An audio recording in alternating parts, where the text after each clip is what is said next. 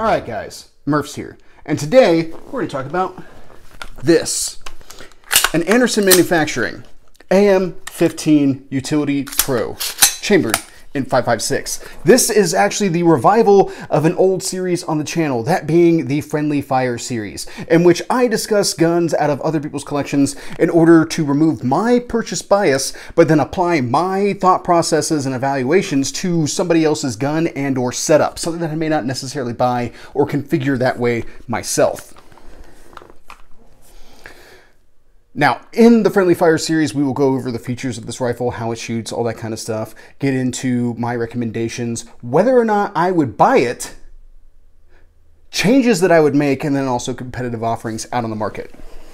Let's go ahead and get started off with a little bit of background. Anderson Manufacturing is not a terribly historic manufacturer. However, they are a manufacturer of budget AR-15 parts, and as many parts manufacturers have done, they've also started producing their own rifles out of their parts. Now, there's a lot of controversy that swirls around Anderson Manufacturing lower receivers in that like there's some quality control issues and stuff like that. I have built an AR-15 off of an Anderson lower before. That would be my Mark 12 Mod Murph, which if you're interested in that, the link to the original and update videos will be in the description. Links will be in the description. And I had no issue with that. However, I will say that I prefer to purchase already assembled lowers, which this rifle kind of falls into that category at that point. Now, the personal history with this rifle might be a little bit more interesting in this case. A coworker of mine had signed up for a course with a couple of his friends, and he had an issue. He didn't own a rifle at that point. It was going to be a two gun, a rifle pistol course that he was going to. He knew about this many months in advance, and he'd been kind of shopping around, not really. And I was kind of supposed to be keeping an eye out for deals and wasn't doing a very good job of that either.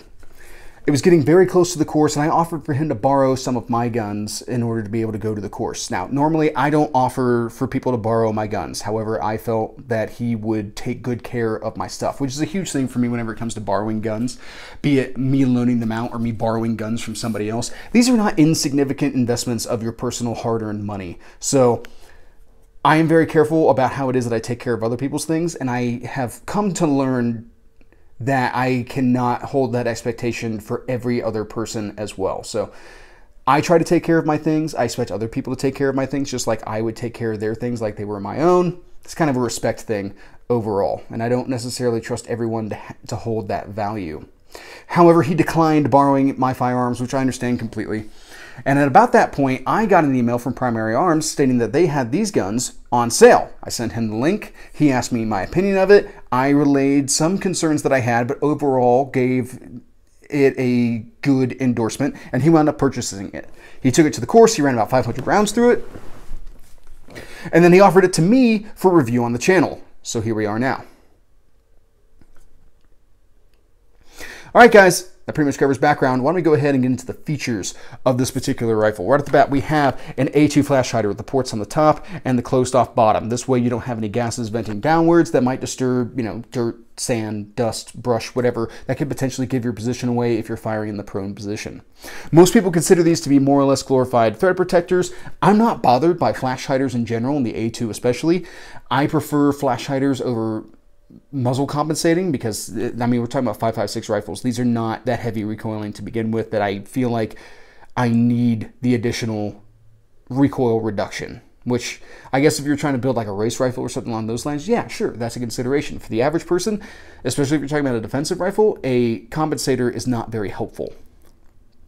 So of course this is easily removable and you can add whatever muzzle device it is that you would like to run. I also don't have suppressors, so I don't need like a specific suppressor mount or anything like that to be able to suppress the guns, but you might have that consideration. This barrel is a 16-inch 4150 chromoly vanadium 1 in 8 twist nitrided government profile barrel. All right, so let's break down a couple of things from there. The 1 in 8 twist. I have been a long time advocate for the 1 in 8 twist. I like that it's a good middle ground between the 1 in 9 and 1 in 7, which means that it can stabilize the larger projectiles you would commonly associate with the 1 in 7 twist, and also the lighter weight bullets that you would commonly associate with the 1 in 9 twist. In this case, meaning that it'll get better accuracy stability out of those out of those rounds. It's not necessarily like, you know, 77s are going to tumble in a 1 in 9 twist I, they could potentially, but they're not necessarily going to tumble in a 1 in 9 twist. But 55 grain in a 1 in 7 may not necessarily give you the best accuracy results. A 1 in 8 is supposed to be that middle ground. And someone pointed out a while ago that the average person is just going to shoot 55 and 62 grain ammunition. It really doesn't matter what twist rate they use at that point. And they're right. They're absolutely right in that case. But being a YouTube gun reviewer, I am addressing a much wider audience. And while the average person purchasing this rifle is probably not running out and buying 77 grain OTMs, if somebody was looking to make this their base rifle for future uses to upgrade it as they went, which we'll get into that more here after a bit, then they might like the utility of a 1 in 8 twist. And that might be something that they want to take into consideration whenever it is that they're making their choices.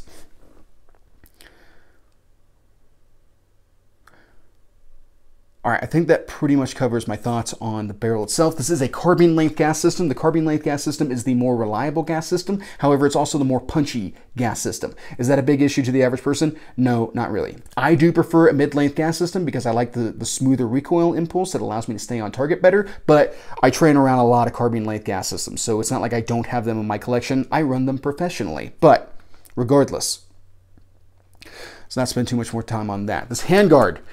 This handguard was actually the issue I had with this rifle. So this is a 15 inch handguard, M-LOK, and it has no anti-rotation tabs. And that is a no-go for me. Anti-rotation tabs are a minimum requirement on an AR-15 handguard. Now, the you can see here we have a very small Picatinny section up here near the muzzle where the owner has installed a sling swivel. And then also he's been running this rail cover with, I mean, at least how I've been using it is just something to kind of build up my grip around the rifle and kind of a touch point as well. I'm pretty sure he uses it for the same. He's not a big fan because he doesn't have Picatinny rail going all the way across the top so he can mount whatever it is, wherever it is that he wants to on this particular rail. I dislike it because of the anti-rotation tabs. Either way, both of us dislike this rail. Also, it feels cheap. The anodizing on this rail is just, this almost feels like paint. Like it, this is not I do not care for this rail at all. We'll talk about that more as we go. This optic is the MRO from Trijicon, which, you know, this is actually the first time that I've ever worked around the MRO, and I had heard some not so positive things about the MRO without having ever experienced one myself. And I've got to say, I was actually really surprised by this optic. So I have a bit of an astigmatism, and even though I like red dots, I do have a tendency to get some blooming out of red dots whenever it is that I look through them. But this is actually a fairly crisp dot. I was very pleasantly surprised by that. So uh, the MRO is something I'm going to have to take a little bit more seriously and spend some more time looking into. Now, he, this is a used optic that he's buying off of a friend.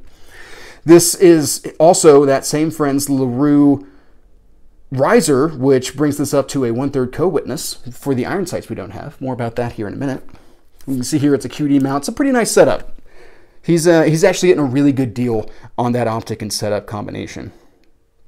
All right, now long-time viewers of the channel know what it is that I'm going to talk about when it comes to the receiver, the AR-15, and like my minimum requirements and all that kind of stuff. So if you've seen it in my AR-15 reviews before, go ahead, check the description, go to the chapter section, jump to content that you actually want to consume. As for the rest of you, forward assist. The forward assist is a minimum requirement for me on an AR-15. A lot of people are ardently against the forward assist. Eugene Stoner didn't want the rifle to have a forward assist. The forward assist is only going to cause more harm than good. When have you ever used a forward assist? And I can tell you that I've used a forward assist quite frequently. So I don't, I don't know where we go in this conversation now. Generally, I use a forward assist whenever it is that I come off of some sort of administrative function, especially in dry environments where I've worked before. So you do like a little a little press check or something like that before you step up to the line at a course of fire or a competition or something like that, and then tap the forward assist real quick just to make sure the bolt made it all the way in the battery because a click, no bang in any type of situation is not what you want. The important thing to remember about the forward assist it's just like any other tool or technique, everything has a time and a place. If you have gunk or something like that built up in the chamber and you're trying to mash that forward assist to get that round into the chamber, you're messing up. That's not a good idea. Stop that. One size fit all solutions don't really have a place in this. This is a thinking man's game. I just conducted a press check, possibly the bolt's not all the way in the battery. I go ahead and hit the forward assist. I'm going bang, bang, bang, bang, bang, bang, bang, and all of a sudden it's not going bang anymore. The forward assist may not necessarily help me in this case. I might need to go into immediate action, and if immediate action doesn't work, then I might need to go into remedial action at that point and actually diagnose what the problem is. This is not a reset button. This is not an easy button. This is something that has a time and a place just like anything else. All right, enough about that. The brass deflector. Huge fan of the brass deflector. This is also a minimum requirement for me. I sometimes do cross shoulder shooting and stuff like that. I don't want to eat brass to the face. So brass deflector is a sustain. The dust cover. The dust cover is also a minimum requirement for me whenever I have the dust cover closed whenever it is that I'm not actively shooting the rifle in order to protect the internals of the rifle from the ingress of foreign material. I've been to a lot of courses. I've been to like small arms master marksmanship and stuff like that, where that was a gradable step whenever it is that you were going through your evaluations was the closure of the dust cover whenever it is that you were done doing all the other stuff that you were supposed to do. Everything ended off with close the dust cover. All right, these are 7075 T6 aluminum upper and lowers. This is a T 70, 75 T6 aluminum upper and lower is the better way to say that. We have a single-sided magazine release. We have a single-sided bolt release, little ping pong paddle there. We have a single-sided safety. I'm a big fan of single-sided safeties. I've never cared for an ambidextrous safeties. The other side has a tendency to irritate my grip and it gets on my nerves. I had my original training around single-side safeties. So utilizing this portion of my hand in order to actuate the safety get down on the trigger and then curving it back to take it off safe has never been an issue for me personally. All right, our bolt.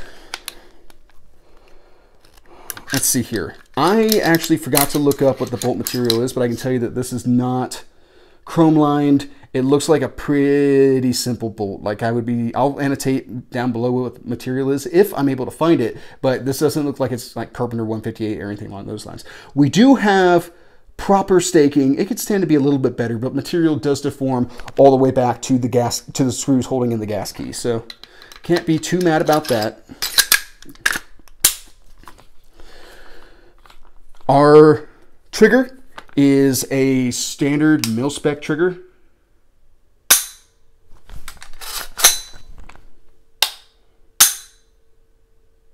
Something I will say for this trigger is that you're pretty much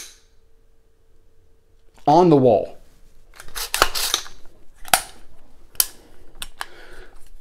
There's not a lot of take up or anything like that. It's not exactly a single stage, but you're more or less on a fairly stiff wall and it just takes a little bit of energy to overcome it. So it's not the greatest trigger in the world. It's also not the worst mil spec that I've ever felt.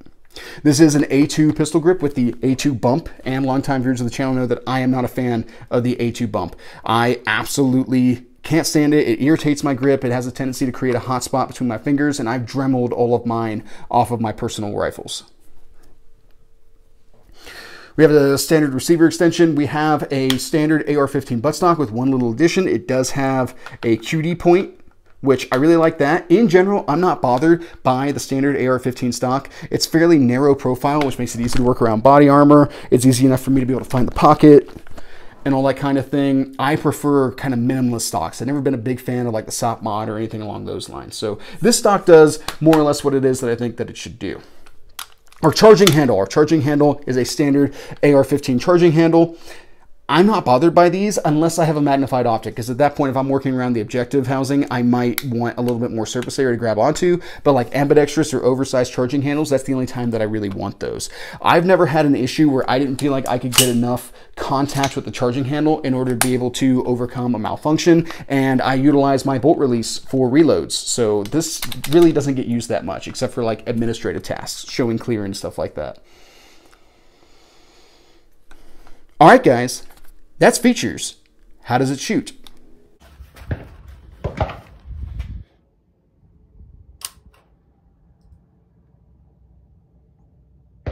Yeah. Yeah.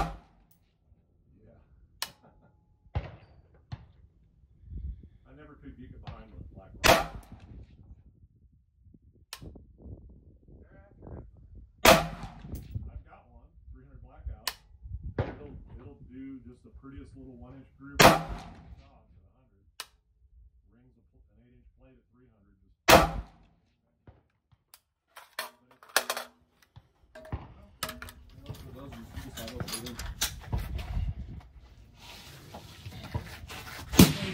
a, 500? Yeah. Yeah, sweet. I think it- You can only go for like thousand.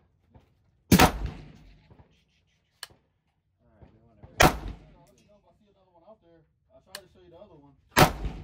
Yeah, but I'm doing Alaska, so. Yeah, there ain't no point. Alright, well, let's set up.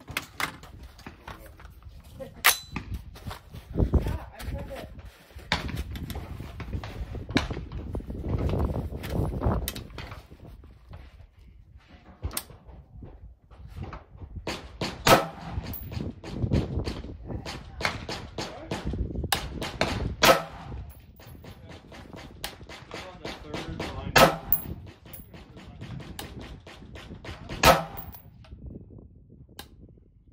Like you, the little dot, and the blinds.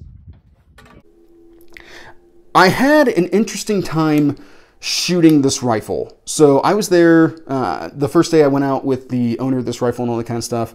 Um, we both shot it. He ran a couple mags through it, and then I started working on accuracy testing. Maybe that was not setting the rifle up for success with accuracy testing because the government profile is a fairly lightweight barrel, and you know, perhaps that kind of skewed the day one results a little bit there. However, I watched him zero this at 25 yards, and then I got a hold of it and I started running it. And I started shooting it, and what I found was that I would get four shots relatively close together, but the fifth shot would go wide and would go wide enough to go off of paper. And in addition to that, at 100 yards, the rifle was grouping low which with a 25 yard zero at 100 yards, unless I've missed my math, the rifle should be shooting above the point of aim.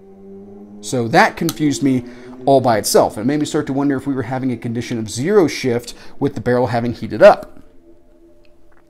Subsequent range sessions would show that the rifle was still consistently hitting low, however. I did finally manage to get a group together. It took me a while, in which I shot some Scorpion 55 grain FMJ and got this 7 and 3 8 inch group. Now, out of this rifle, I shot the Scorpion, I shot Barnaul, and I shot Wolf. None of these are necessarily match grade ammunition. None of it should be bringing in like super amazing accuracy, but I would not, I am not too thrilled about the accuracy result on this particular rifle.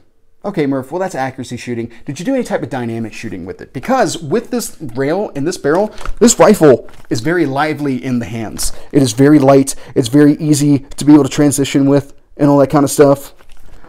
I really like the handling characteristics of this rifle, which is no surprise to anybody who's been watching the channel for a while. You guys know that I like light, handy rifles. So, I did do some ready up drills with this rifle, and I found it very comfortable to work with. I really enjoyed doing those ready ups with it.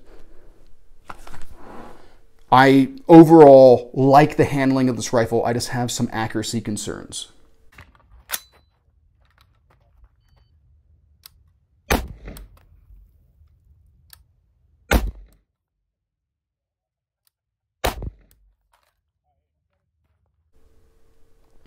All right.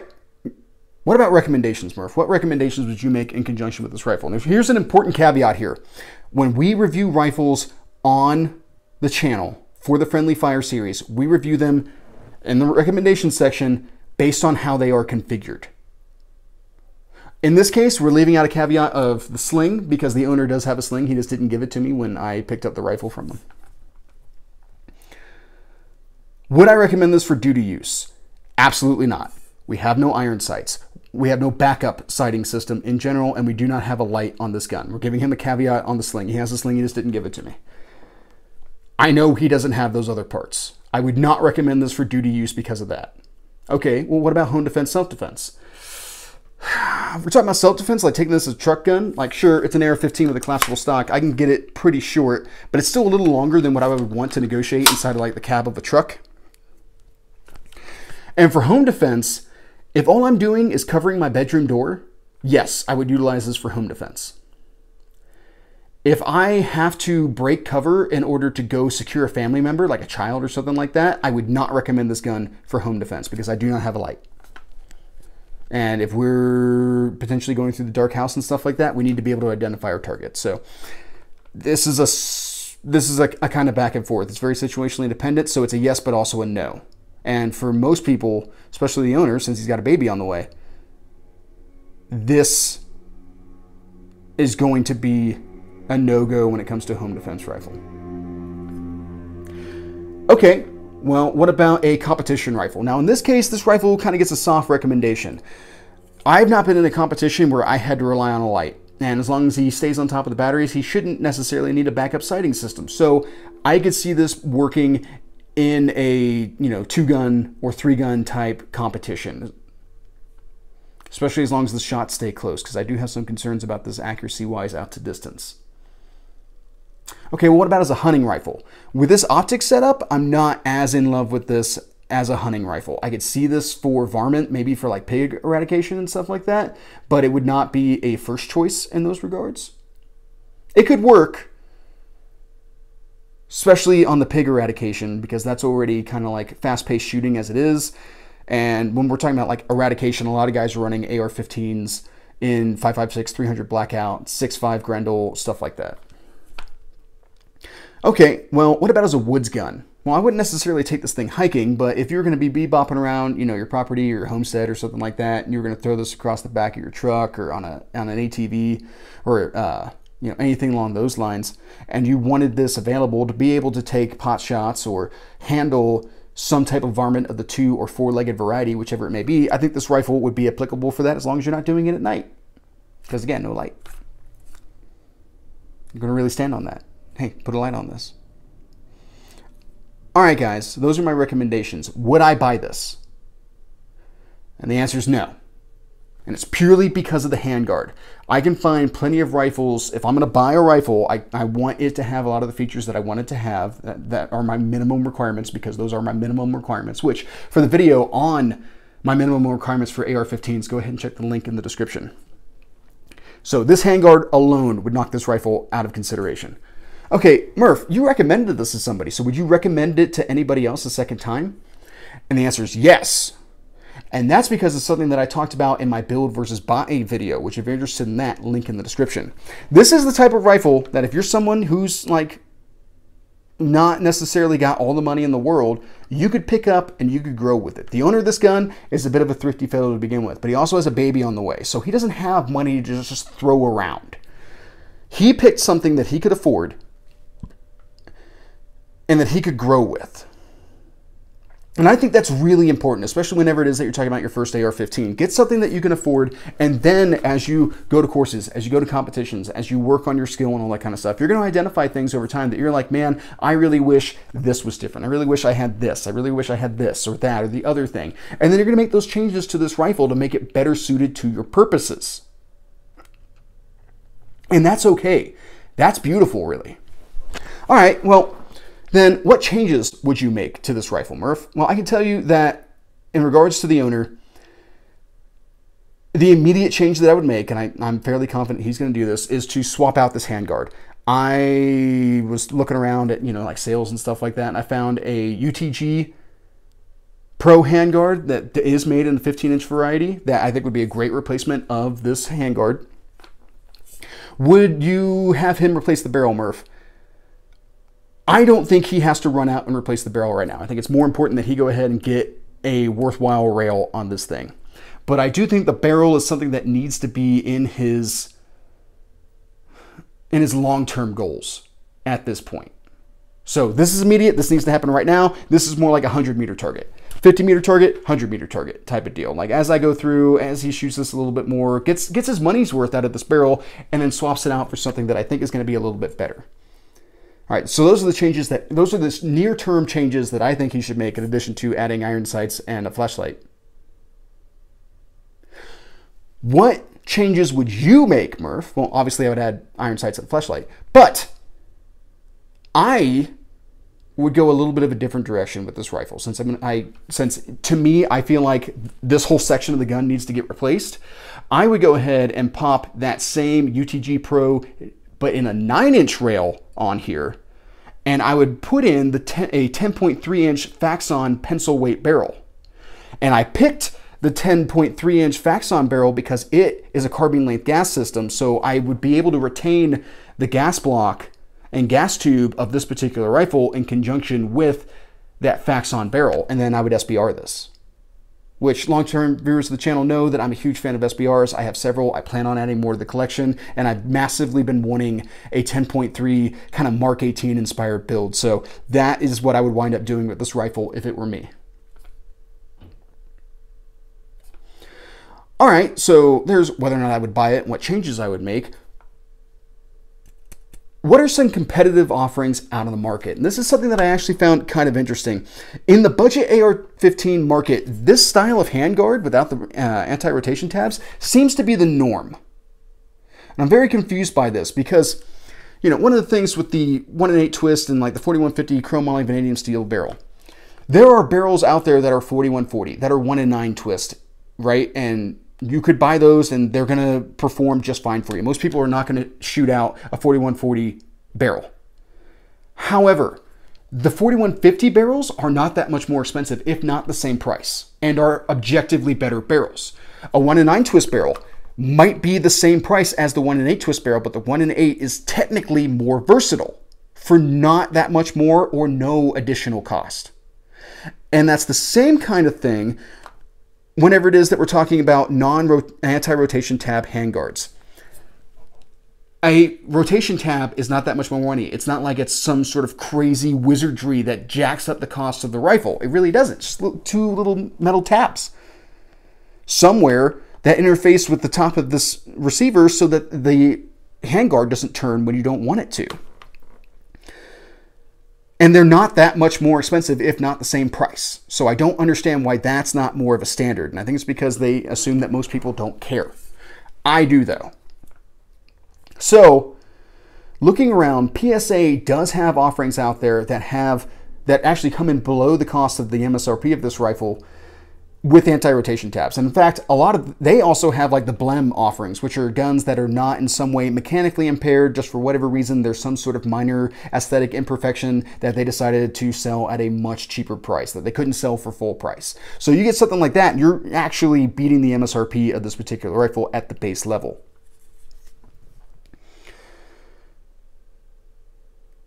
Going off of PSA, I was looking around. I was having trouble finding anything else that had anti-rotation tabs. So at this point, I settled on the Smith & Wesson M&P 15 Sport 3, which now has a 15-inch M-LOK handguard that looks an awful lot like this one. I would get that rifle, and then I would swap out that handguard if I was looking at competitive options. And like, Murph, well, you know, now we're adding the cost of the rail. But here's the deal. If you get the gun cheap enough, making those types of changes isn't that big of a deal because there are going to be certain inherent costs associated with the rifle to begin with. So take this rifle for instance, owner picked it up with the parts that I picked out, that I went ahead and priced out. That would come in at just over 250 additional dollars. He would still be coming in under the MSRP of the Smith & Wesson M&P 15 Sport 3 with that stuff changed out. Now, someone might say, well, Murph, what about tax? What about shipping? What about background check and all that kind of stuff? But guys, those are the costs of doing business. I do not roll those into the cost of the rifle. That's no different than like, you know, the gas that it took for me to go and pick up the gun or something along those lines. I'm not, I'm not I'm not nitpicking those things and rolling them into the cost of the overall rifle. Oh, well, you know, I was out and then I picked up lunch, so I'm going to add that to the cost of the rifle. No, that's not that's not how this works.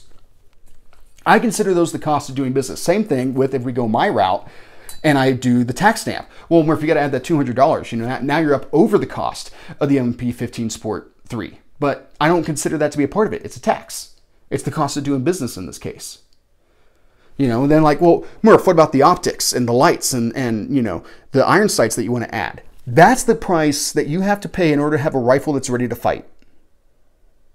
So I don't consider those to be a part of the base rifle. Those are add-ons. They definitely play into the cost of the gun, but it's like a separate pot of money is how I look at it. If he just swaps out this handguard and keeps this barrel for a little while longer, he's looking at a under $100 investment, which is still bringing this thing in well below the M&P Sport 3. Or in this case, if we're talking about the M&P Sport 3, it's still coming in below uh, Springfield Armory Saint or anything along those lines. With that just minor upgrade, that is a really good upgrade. And then you add your optics and your lights and you know sling swivels and all that kind of stuff.